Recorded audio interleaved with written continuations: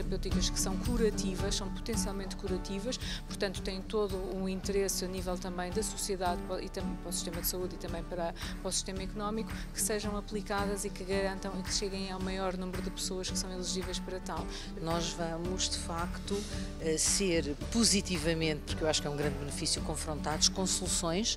para, eh, para, doenças que não tinham soluções eh, e que vão ter, não são só soluções uh, no sentido de adiar um pouco aquilo que é a sobrevivência.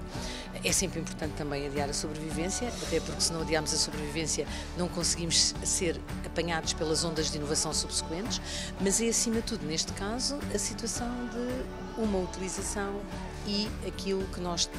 denominamos, tanto quanto sabemos hoje, precisamos de mais tempo, cura. Eh, o interesse e o apoio que a Ordem dos Médicos pretende dar e está efetivamente a dar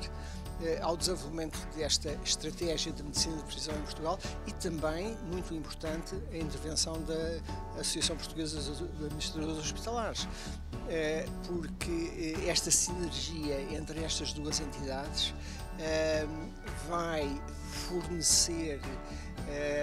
quem tem poder de decisão na saúde em Portugal vai, vai, fornecer, vai fornecer elementos que podem ser muito úteis eh, em decisões estratégicas eh, a tomar.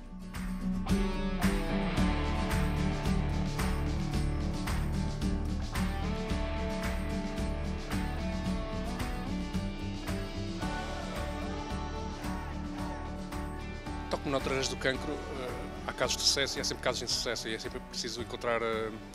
novas, eh, novas terapias, novos alvos terapêuticos, novas formas de tratar eh, aqueles doentes que não conseguem ser tratados com as terapias atuais, seja quimioterapia ou outras.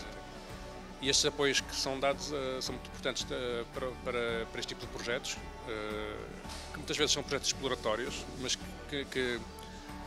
esperemos que tenham implicação, mas que não tendo vão ter também, vão, vão sempre criar know-how, e o know-how é muito importante, importante a investigação translacional, ou seja,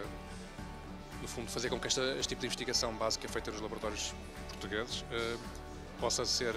vir a ser aplicada ou ter aplicações uh, clínicas.